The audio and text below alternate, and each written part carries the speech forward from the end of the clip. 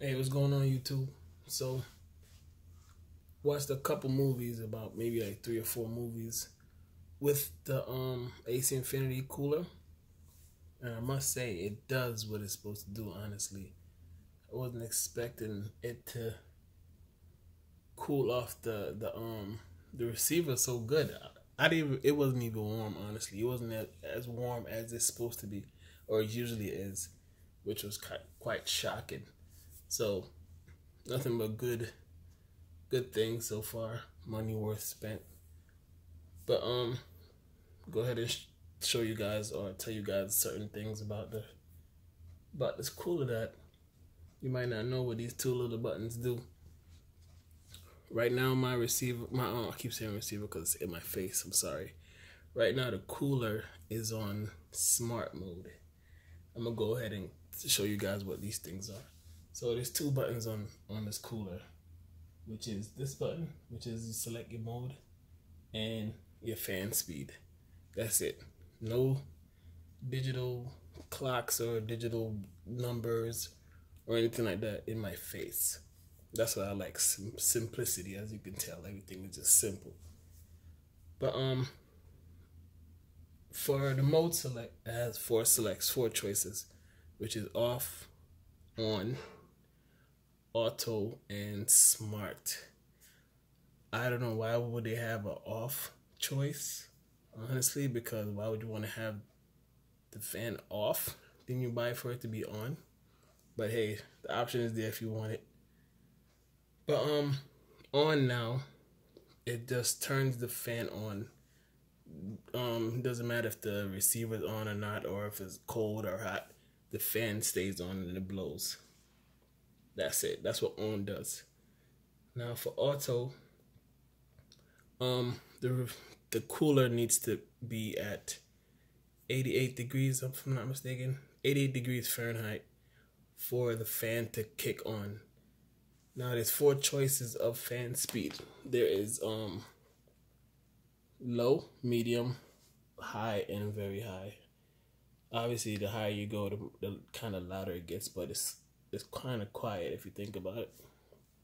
From what I tell, from what I can tell, it's kind of quiet. But um, for auto now, you choose your fan speed, and when the receiver gets to 88 degrees, it turns on. That's what auto does. You choose your fan speed.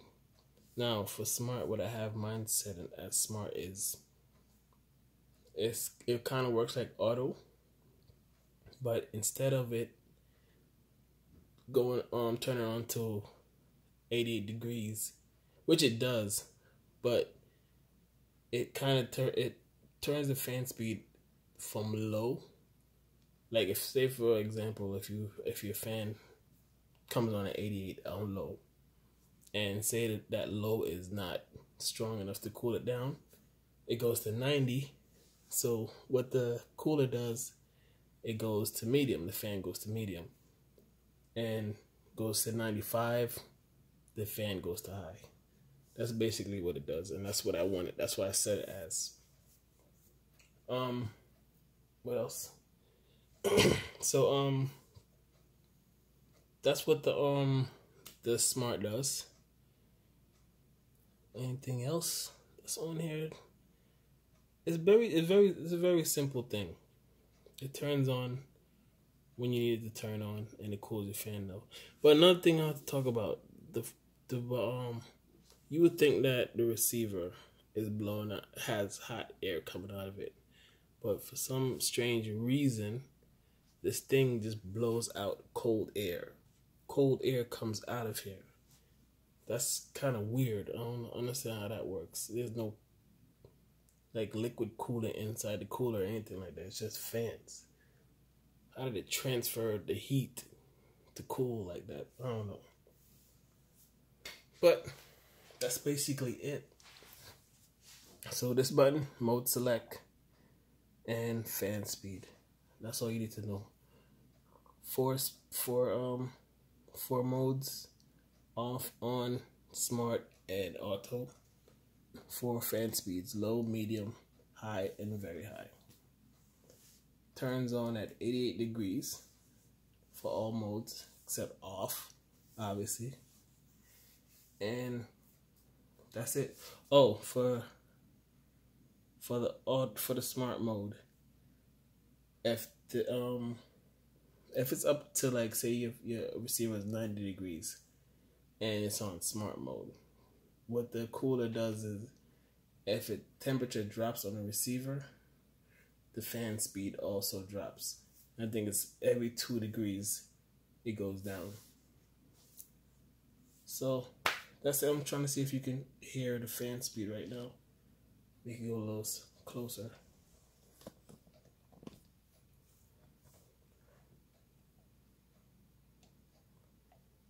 Right now, that's off. That's on. And it's on high.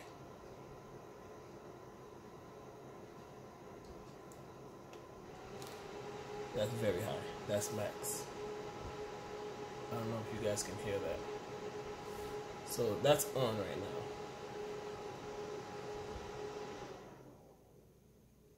That's low, medium, high, and very high. And it's nothing but cool air, but obviously the receiver's not on, but but that's auto. You know it's auto because it have a little orange light. And right now my auto set to to to medium. But I have it on smart. And it's too light to be smart.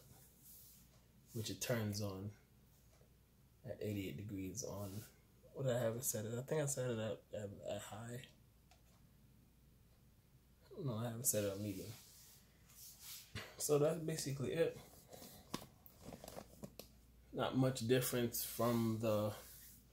Oh, I made a mistake early in the, in the earlier video. This is the S series. The one with the digital in the front is the T series. But they're basically the same thing. It's just the one with the with the with the clock and stuff in the front. You can adjust when you want the temperature. Like if you don't want it to go on 88, you want it to go on 90. You can set it to go on at 90. If it goes past 95, it has this alarm that beeps that let you know it's too hot. Just like stuff that I don't really care much. I just need the the receiver, the cooler to turn down the to cool down the, the, the AC. Oh, ah, I'm messing up.